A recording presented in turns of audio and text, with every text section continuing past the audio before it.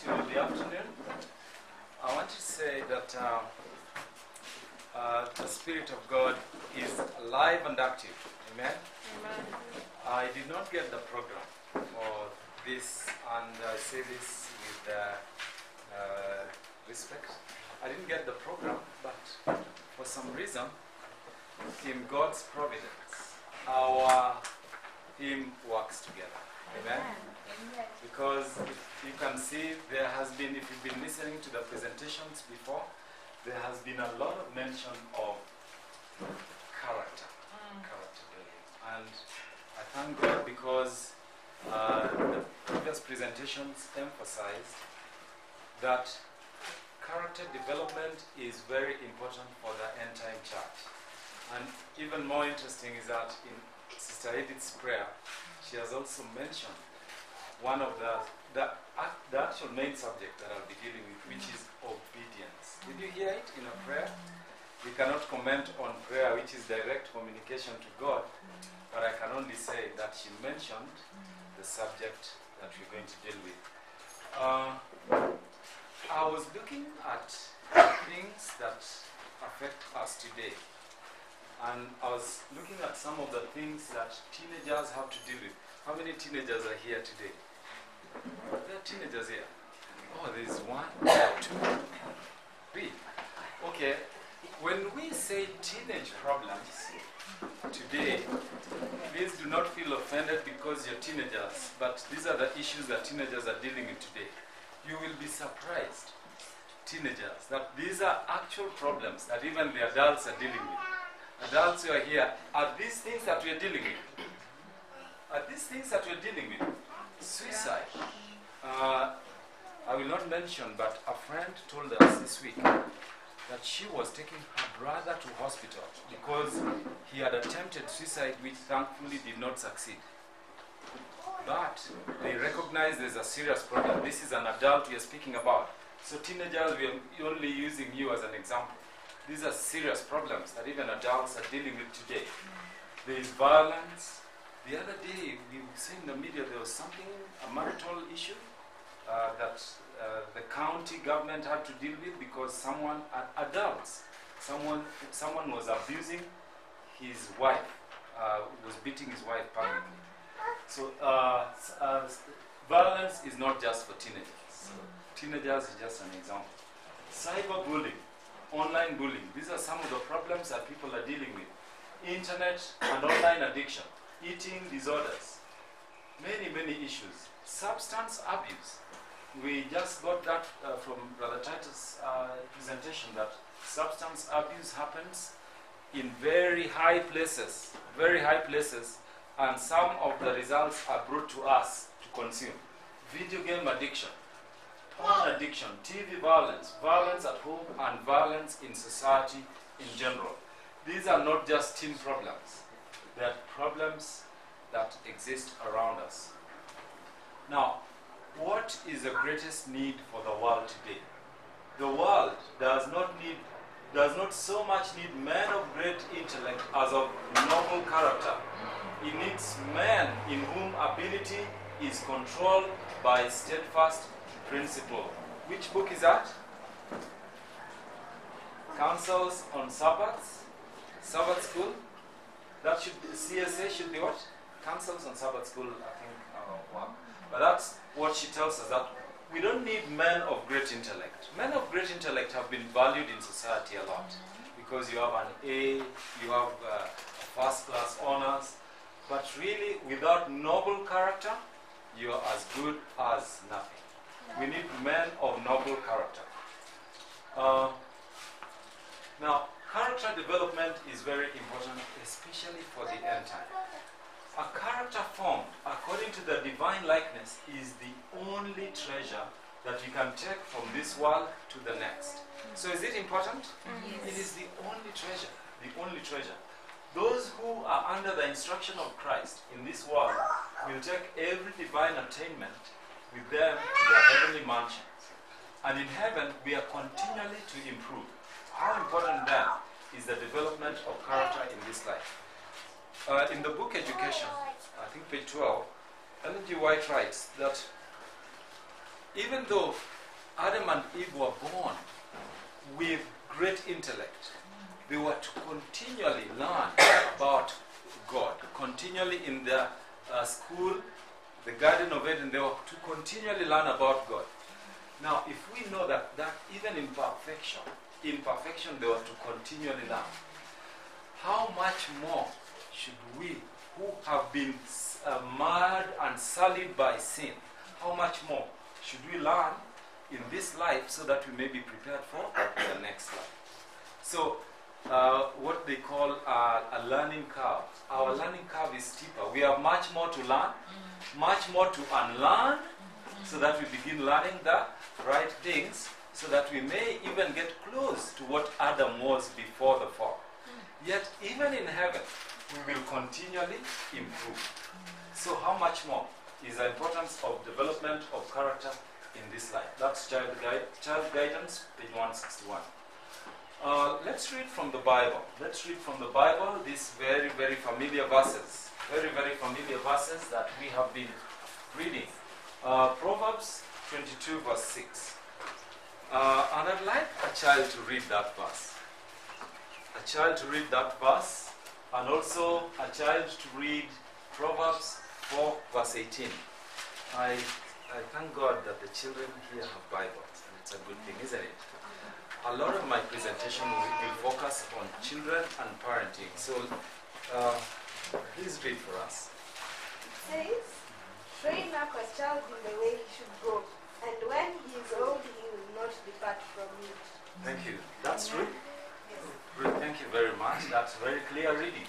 And Proverbs 4, verse 18. We have some. Mhm. Thank you. That's what's the name? Jeremiah. Thank you. But the path of the just is as the shining light that shineth more and more unto the perfect day. Amen. The, the path of the, the just is as the shining light that shineth more and more unto the perfect day. Thank you, Jeremiah. An adult now to read John 6, verse 39. Any verse? John 6, 39? Anybody who has it? John 6 39 says, And this is the Father's will who has sent me, that of all that he has given me I should lose nothing, but should raise it up again at the last day. Amen. Now, this is Christ speaking. First of all, let's notice that when Solomon is speaking these words of uh, training up a child, Ellen G. White writes that Solomon did not say, Tell a child the way he should go. Do you see the difference between telling a child the way he should go and training the child? And she gives the example, some of you are farmers like Eric, that when vines grow, vines need to be trained in the way they should grow. You don't just leave the vines because the vines will tend to creep on the ground where they don't get enough sunlight and where if they're fruits, they will be prone to attack. So you train them. If you can train a plant to grow and bear fruit, how much more should you train a child? Not just tell them. Telling them is not good enough. They should be trained. And then the path of the just, you begin a walk with Christ. And don't, don't stop walking. It should shine more and more unto the perfect day. When we begin training these children, we should not train them and leave them. Let us ensure that they are ready for the perfect day. Which is our perfect day that we're waiting for? Second The second coming, when we will, who are alive will be translated, and the dead in Christ shall rise again. But notice also that in John 6, Christ is saying something very profound. He's saying that he has done the Father's will, and all that he has given him, he should lose nothing. He should lose nothing.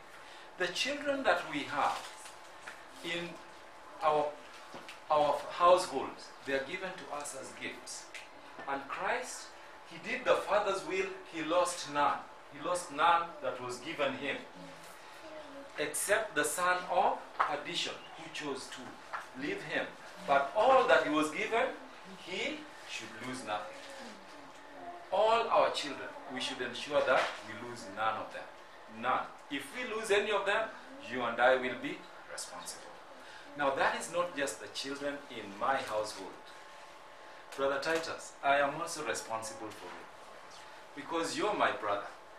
And because we are all brethren, all the children that we come into contact with, we will be responsible for them. One day I will be asked, Ruth came into your congregation where you had the opportunity to point her to Christ. Did you do it? You had the opportunity of standing before her in the pulpit. What did you tell her? What did you train her to do? What did you train Jeremiah or Ellen G. White or William Miller to do when you had the opportunity? Not just by word, but also by example. Brother Jao, you pointed to us uh, the example uh, that we were given, uh, that these things happened to them as examples, but also what the character that uh, Brother Titus also told us about. That the neighbor, the neighbor's child might not usually come to him daily, but out of something, out of character, he saw the need to speak to a child of God. And all around us, it may not be your child, it may be a neighbor's child, it may be an office work, uh, workmate's child. And in our offices, some of us who work, if you speak to your workmates, some days they'll tell you they are really stressed. Mm. And if you ask them, they will tell you it's back from home, something happened, a child, a spouse, a neighbor, a child who needs help. How did you influence them? Christ says he should lose nothing. So, what are some of the things that we can teach our children today? What are some of the things that our children need to learn? And this is not just our children. Can I teach something that I don't have? No. I cannot teach something that I don't have. Otherwise, what kind of example will I give? Obedience, self control, quietness. Quietness is a rare thing these days. Uh, in the morning, we could hear some music coming from the background. Because today's world, people are so accustomed to the media that silence is actually uh, hated or even feared. You know that? People fear silence. In places where God called people to the mountains, to the forests, to the wilderness, where they could meditate in silence to listen to Him, that is so uncommon these days that people try to fill that void with noise or WhatsApp or something they're doing for themselves because quietness is a, uh, something that is feared or abhorred. Respect is not there. Reverence, care in handling property, health principles, cleanliness, neatness, neatness, order, regularity. Those are things that need to be taught.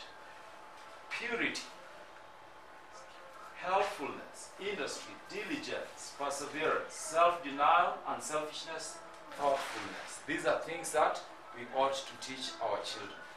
Uh, if we were to ask the children around us how often they get these things taught unto them, taught truly from the principles of the Bible, you will find it's very uncommon. It's very uncom- uncommon. And yet, these are the things that should constitute the elements of true education. How often do you find uh, there's a new curriculum that has just been implemented uh, for uh, the schools, public schools? How often do you find purity taught? Is it taught? No. Not very often. Helpfulness, we do not even find them in the curriculum of uh, education these days. We do not find these things. Obedience, self control, these are very rare things. In fact, self control is one of the things that is least often taught because children are taught that what you need and you can get safely, get it. And sometimes instantly. Uh, whether it's food, whether it's gratification, whatever. Get it immediately because self control is not taught.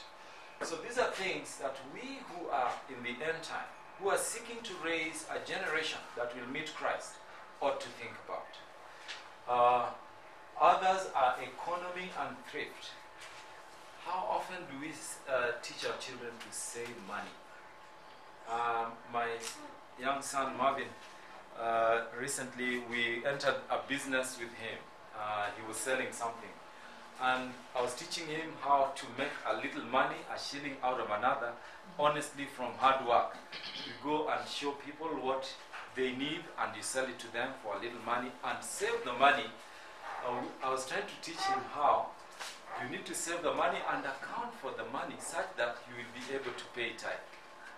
It's a rare thing because I heard that when he went to his school and told his colleagues what he was doing, the teachers picked it up and said, all of you children, come and hear what Marvin is doing because it's a rare thing. But our parents taught us these things. These are things that we were taught. I hope you were taught adults. Were you taught these things? Some of you. These are things that we need to be taught. Simplicity. Simplicity, a rare thing. These days, the more complex you are, the more sophisticated you look.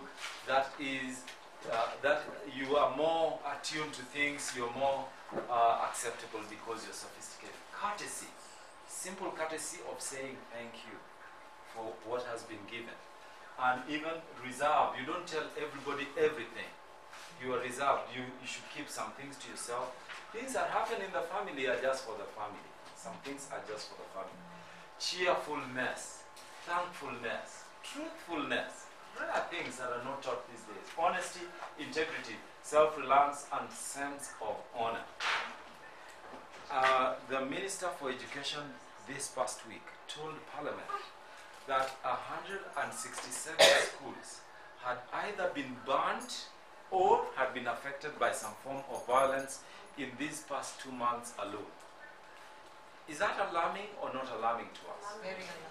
Very alarming because we have not even talked about how many children have been involved. In fact, if you looked at uh, last year's statistics of the schools that were burnt and the children whose lives were lost, lives lost, you send a child to school, pay fees for them, and the next thing you're called, you're told, we have an incident in school and uh, please rush, come over, and you find your child has, is among the, the dead. It's a terrible thing. Yet, if we learned these things, if we taught our children these things, some of those incidents could have been prevented. Uh, obedience is what I will focus on a lot. If we read manuscript uh, 49, which she wrote in 1909, she wrote that children will be happier, far happier under proper discipline than if left to do as their untrained impulses suggest. The children here may agree with us that they may not be very happy sometimes when mommy stops you from doing something that you wanted to do. But when you're going back to bed, you are grateful that you were stopped from doing it. Because left to your own devices, left to our own devices as children, we will do things that will harm us.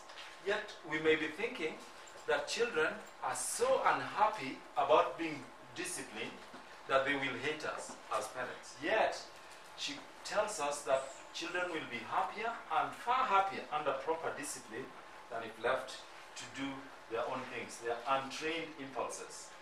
That what their tra- untrained impulses suggest. Now, the higher branch of education is that let fathers, mothers, and the educators in our schools remember that it is a higher branch of education to teach the children obedience. Altogether, too little importance is attached to this line of education. Which one? Which line of education? Obedience. We will see how we can teach children to learn obedience and why I chose obedience out of the many things that is, uh, we can teach for true education. Why I thought obedience is something that we ought to focus on today and to think about. And that it is a higher branch of education to teach the children. Um, prompt and continual obedience to wise parental rule will promote the happiness of the children themselves as well as the honor of God and the good of society. Children should learn that in submission to the laws of the household is their perfect liberty. Christians will learn the same lesson that in their obedience to God's law is their perfect freedom. Now, uh, this presentation tends to focus more on children. But parents, let us also realize that our role is to give prompt and to teach prompt and continue to promote the happiness of the children. That calls on parents to do something. What should parents have there? What should parents have? Wisdom. We should have wisdom. And in having this wisdom, we will then promote the happiness of the children themselves. And then this will lead to the honor of God and the good of society. A lot of what is happening today, there's a friend of mine who keeps saying that when we see so many people sick in society, we should not blame them, even if they're eating wrong. The first person we should blame is the Seventh day Adventist. You know why? Because we are around them, but we've never taught them the right ways of eating. So if they eat and get sick, who should be blamed first? Me. Me. I should be blamed first. And in the home, in the home, if there is no true happiness, then who is to blame first? Is it the children who are rebelling? No. No, it is the parents. We should know our role as parents, that we should uh, teach prompt and continual obedience. Not obeying today and tomorrow, they are not obedient. Um, what is the will of God? What is the will of God? The will of God is the law of heaven. As long as that law was the rule of life, all the family of God was holy and happy. But when the divine law was disobeyed, then envy, jealousy, and strife were introduced, and a part of the inhabitants of heaven fell. As long as God's law is revered in our earthly homes, the family will be happy. Did you notice that uh, perfect liberty only comes when we obey God? Uh, as we grew up, when we were growing up, certain uh, people, uh, even our age mates, kept saying that USDS, you are, your church is not very good. We don't like your church because you are so restricted. On Sabbath, you have to go to church the whole day. There are many other things that people are doing out here, but your church is too restricted. Uh, maybe, I don't know whether it is the deportment of us who are Adventists growing up in that time. We made our church look like it is not a place of enjoyment. Yet, in the presence of God is full liberty and fullness of joy. So, there are people who are watching you. Do you know that there are people who are watching you? Uh, in First Corinthians, I think it is uh, 10 verse 11, where Paul says, We are spectacle to to the world and to angels and to men. So if your department is such that you look like where you've gone to church, you are not even finding joy. There are people who are thinking, maybe it is not the place for me. But really, in serving God, in serving God, we should find perfect liberty. Even children should know that perfect freedom only comes when we obey God. Obedience is very important. And as long as God's law is revered in our earthly homes, the family will be happy. Happiness is something that is very rare these days. In fact, if you were to sample people, even just people going to work, how many of them will you see with a smile on their faces? The world is so stressful, so stressful that there is so much slavery and stress. People are coming from stress in their home. They carry it with them to traffic. If you change lanes in traffic, you are driving.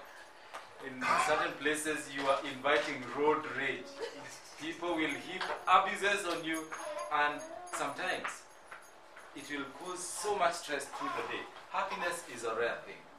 Yet, the prescription is very clear to us. As long as God's law is revered in our earthly homes, the family will be happy. There are certain things that are not in our control. For example, you can't control the weather. Yet, in obeying God, we will know how to handle whatever external things come to us such that we will be happy despite.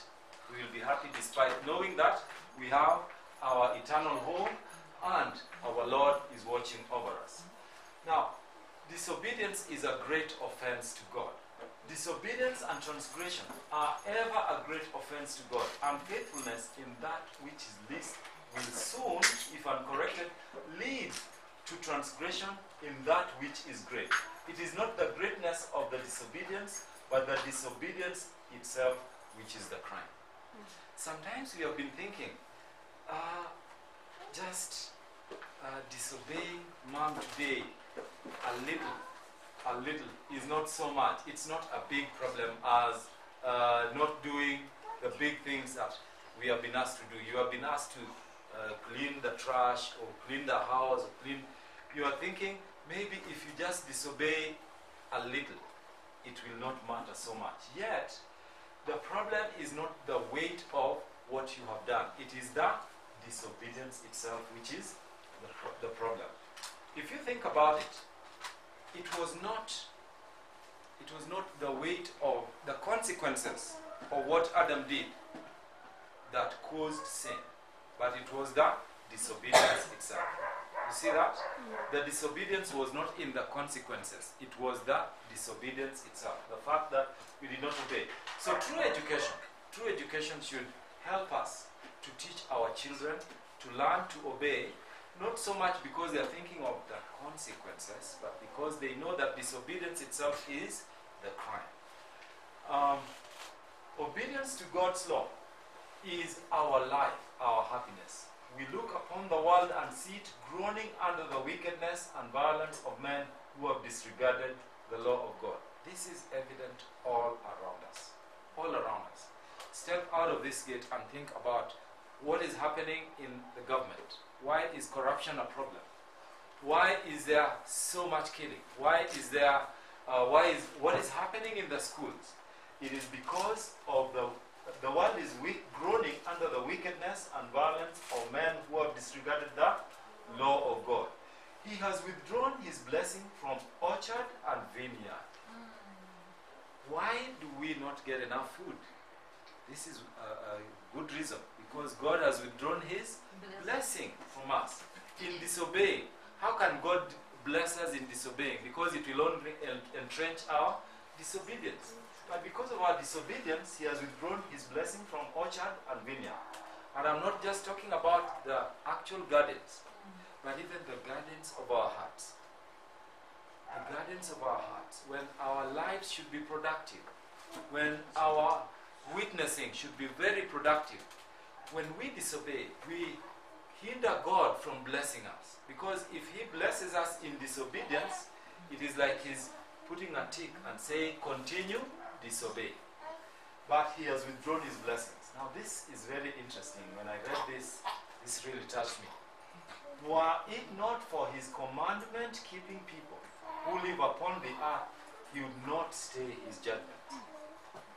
Do you know that the judgments of God that are to fall on this world are held in check for your sake because of you and me?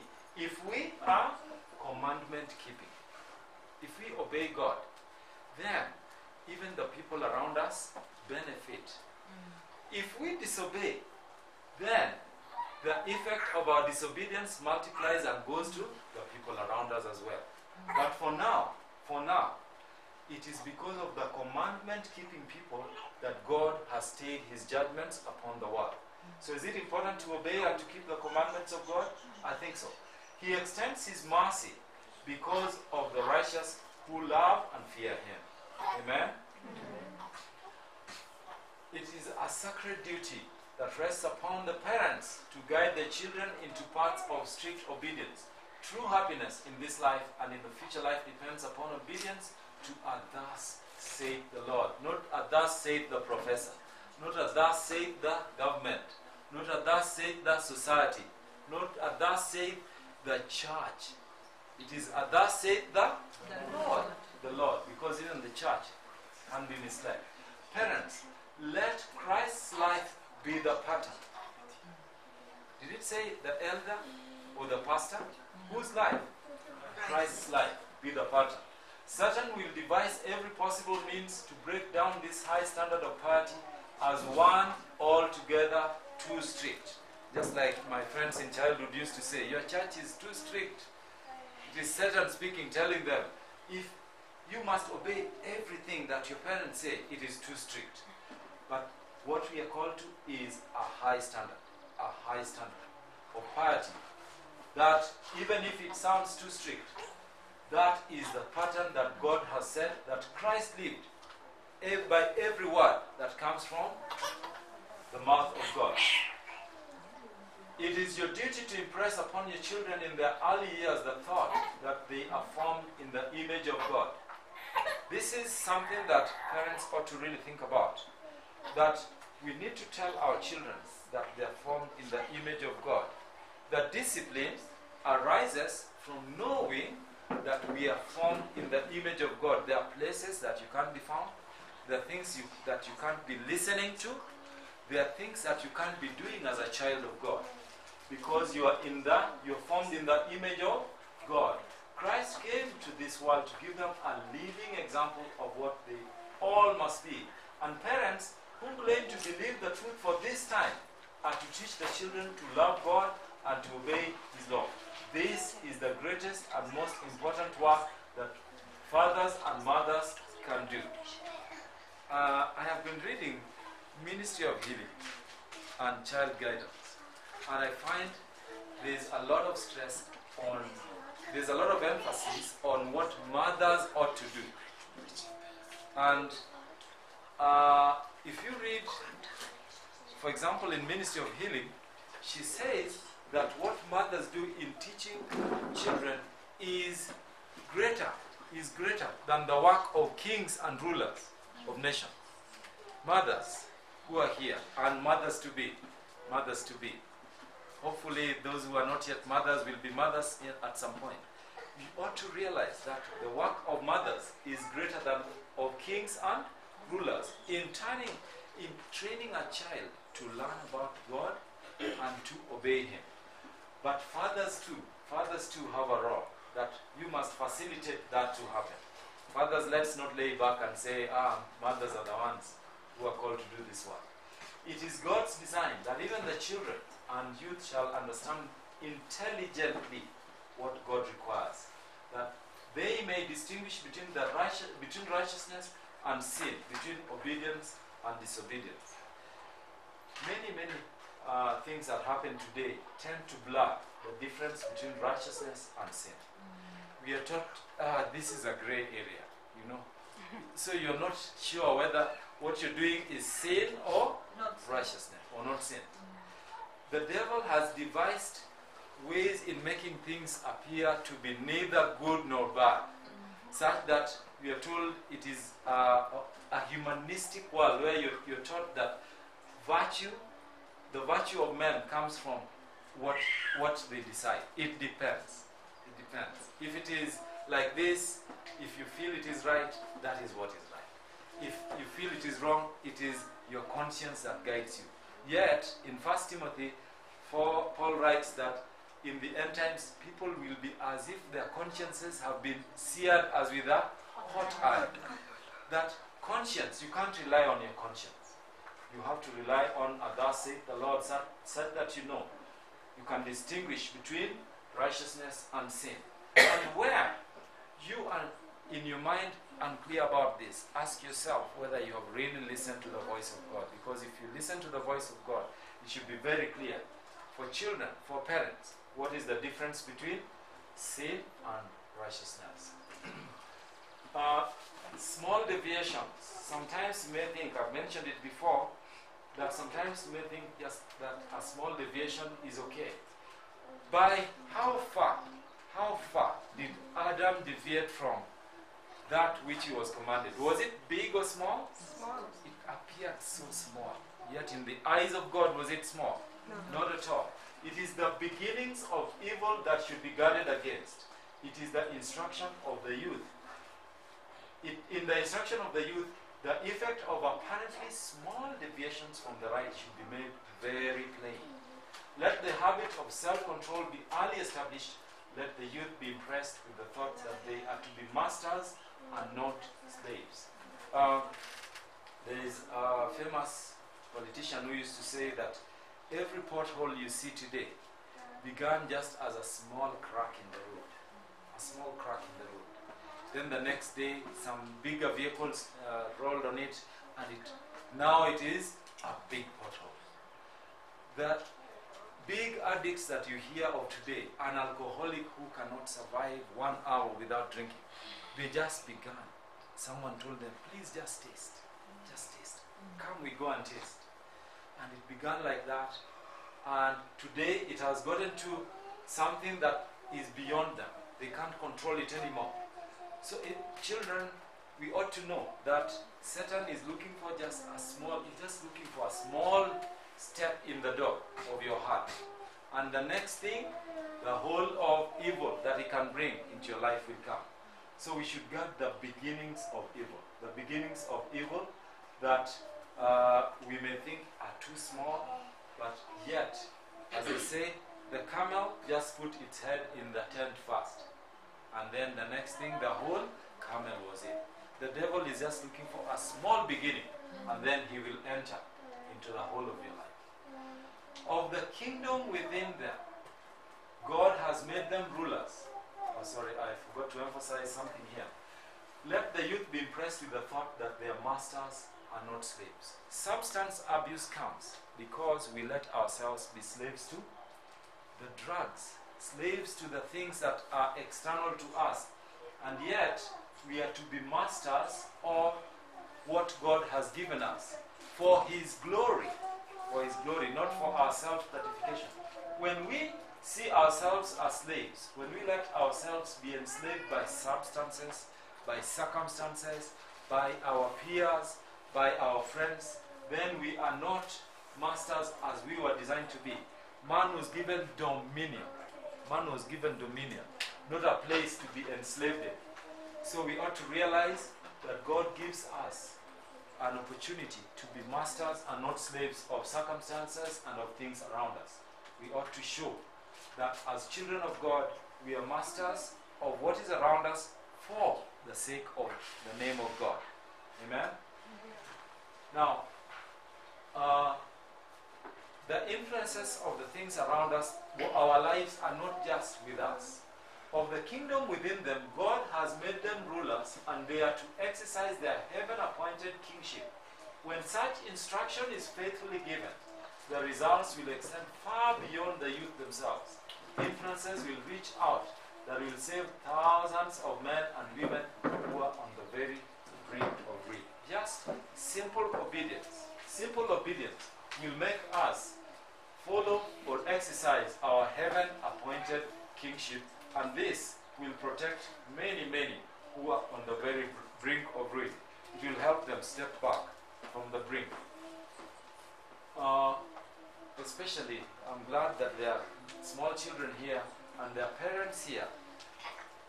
We ought to begin early. It is never too early to teach obedience. Amen? It is never too early. True education calls us to begin early. Uh, in the secular system, when does uh, teaching children to obey come, if at all? If at all, if you were ever to teach children, when does it come? When they go to nursery school. At what age? Maybe three, four. These days, I'm told that children in nursery school are very young. Okay, they call it play group. Play group is about two years. Two years. Should a child at two years be in school at all? No, and they take them there. You take them there thinking it is play group. You're thinking they're playing, but they are being taught. They are being taught. Not true education. They are being taught many things by teachers who are not sanctified, by their own peers who are learning things from the world. Yet, uh, this teaches us not to take our children early to school, but to begin, begin teaching them early the right things. Some parents think that they can let their little ones have their own way in their babyhood, and then when they get older, they will reason with them. But that, but this is a mistake. Sorry, that's a mistake. Begin in the baby life to teach obedience. Require obedience in your home school. Now we are not talking just of homeschoolers here, but we are talking of all homes as schools. All homes as schools. And we begin early to teach children about obedience and require it from them. And not to think, we ought not to think as parents that it is too early to require the children to obey. It is never too early. We begin in the baby life to teach obedience. A child needs to learn is the lesson of obedience. Thank God. Children who are here, let's thank God that our parents know the Lord. Our parents know the Lord. Because some of the things that we went through when our parents were in ignorance did not expose us to lessons of obedience. This is one of the first lessons that a child needs to, to learn. Before he is old enough to reason, he may be taught to obey. The mother's work should begin with the infant. With the infant. She should subdue the will and bring its disposition into subjection. Teach it to obey, and as the child grows older, relax not the hand. Do not think that now because the child has grown older, they should not obey. They should always be under strict obedience. At a very early age, children can comprehend what is plainly and simply told them, and by a kind and judicious management can be taught to obey. The mother ought, the mother should not allow her child to gain an advantage over her in a single instance. A single instance uh, is enough to ruin the child. In order to maintain this authority, it is not necessary to resort to harsh measures. A firm, steady hand and a kindness which convinces the child of your love will accomplish the purpose. Harshness. Harshness is not necessary in training children to be uh, truly obedient, but they should see as a firm, steady hand and a kindness which convinces them that you love them and it will accomplish the purpose of obedience and discipline. But let selfishness, anger, and self will have their course for the first three years of a child's life, and it will be hard to bring it uh, to bring it to submit to wholesome discipline. Uh, have you seen what they use as walking sticks? The what the, the one that is made of wood. I'm not talking of the plastic ones. The ones that are made of wood are made when the wood is still supple, when it is still supple, when it is soft enough to be bent. If you wait for the tree to grow to 20 meters, is it easy to bend? When you attempt to bend it, it will break. Just like that, the lesson from nature teaches us that we ought to teach the children while they're young and do not hope that when they're older, we will bring them to subjection and wholesome discipline. Uh, its disposition of the child has become soured, it delights in having its own way, parental control is distasteful. These evil tendencies grow with its growth until in manhood, supreme selfishness and a lack of self control place him at the mercy of evils that run riot in our land. Are evils running riot in our land? Yes. Yes. Because simply because we failed to teach children obedience when they were young. The youth and children who are praying parents have been greatly privileged, for such have an opportunity to know and love God. Children, if your parents love God, it is a great privilege because they will point you to our Father, who many children in the world do not have. It is a great privilege to have parents who know God because they will give the children an opportunity to know and love Him. In respecting and rendering obedience to their parents, they may learn how to respect and obey their Heavenly Father. If they walk as children of the light, they will be kind and courteous, loving and respectful to their parents whom they have seen, and thus be better qualified to love God whom they have not seen. If you love your parents, if you respect your parents whom you see, and this goes to even us adults who have our parents around us. If we love our parents whom we see, then we are qualified to see our, to love our Father in heaven whom we haven't seen. We need to obey our parents here on earth so that we may learn obedience to our Father whom we have not seen. In our own training, this is a testimony of Ellen G. White. Some people, some of us may be thinking that Ellen G. White uh, had uh, everything uh, going perfectly for her. Yet, in her testimony, she shows that she had children. Did you know that in her home, she had children, even orphans? She brought orphans, and many times she did not even have enough money to feed them. And many, many of those children were from troubled families. and she had to train them. Train them with lots of effort, lots of patience. In the end, she gives this testimony that in our own training of children, including her own, and in the training of children of others, we have proved that they never love parents and guardians less for restraining them from doing evil. Amen? So, children, this is a good testimony that Ellen G. White gives us that she shows that in being trained to uh, avoid evil, it does not make us love our parents any less. No. In fact, many children in their adulthood confess if we were rightly trained that indeed, if it wasn't for my parent, I would have been lost.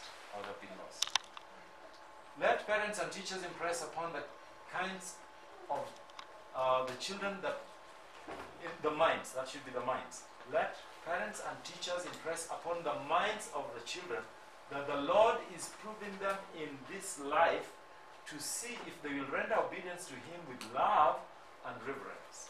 Those who would not be obedient to Christ here would not be obedient to Him in the eternal world. If you do not learn obedience here, do you think you will learn it in heaven?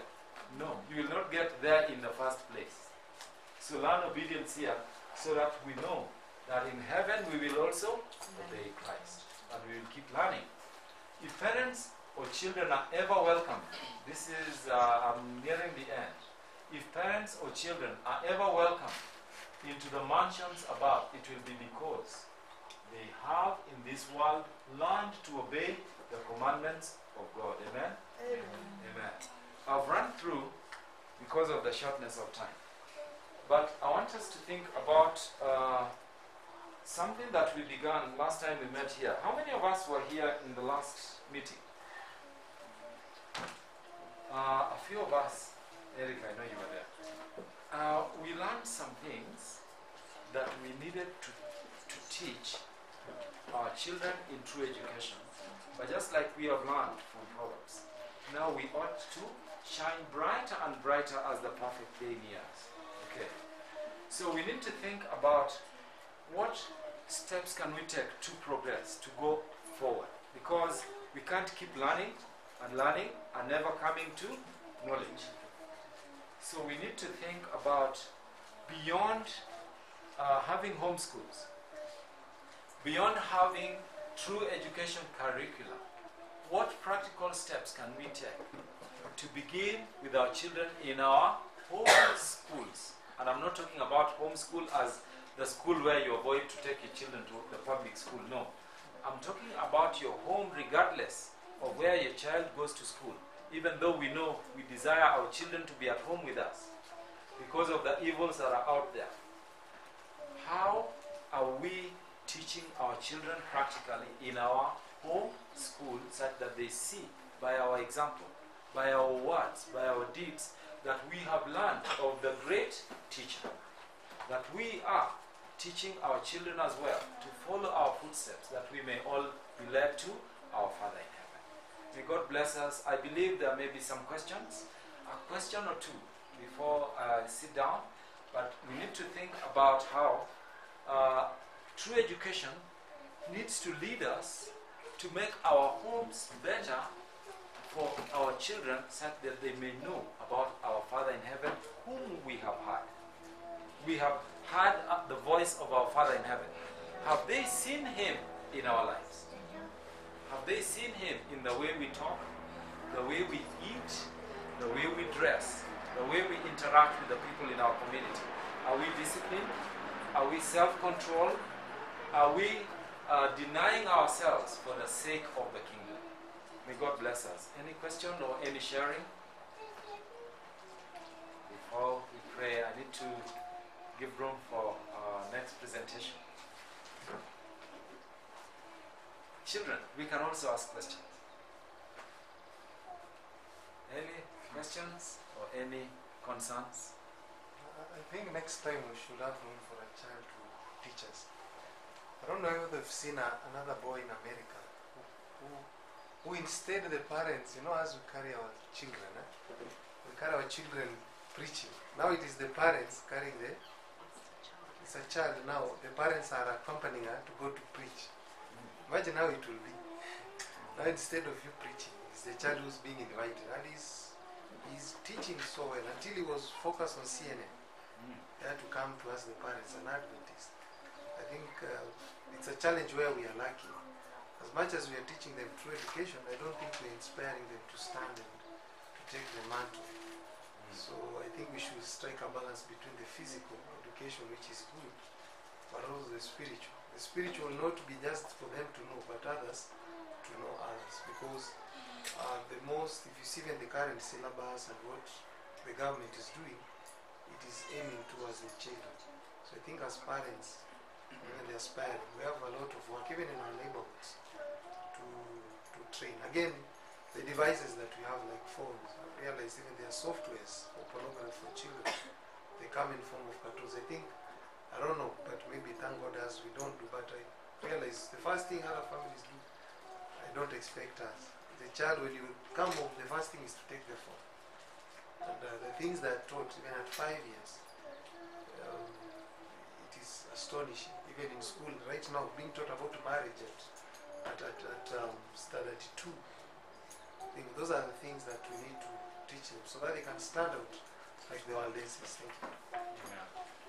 Um, when Christ was entering Jerusalem and the, uh, the Pharisees heard the children praising Christ, they were asking to, uh, him to restrain them. But he said, let, let the children come to him, uh, the disciples, that's uh, uh, for the disciples. But the children recognize that this is the true Messiah. Uh, the rocks themselves are going to cry out. If we cannot praise God, then the rock, the rocks themselves will cry out. That's a testimony. I have not watched that video, but Maybe you can share if you have, I have them. oh, It's good uh, for the children. In fact, there, there's a time I, my, after seeing it, I found him in the morning. He had the child saying in the morning he wakes up and uh, and he goes to the room, he prays and starts reading. You know, the following day I found my child doing that. oh. So I think sometimes we can read verses, but when they see life testimony, they get challenged. Mm. Yeah. Amen.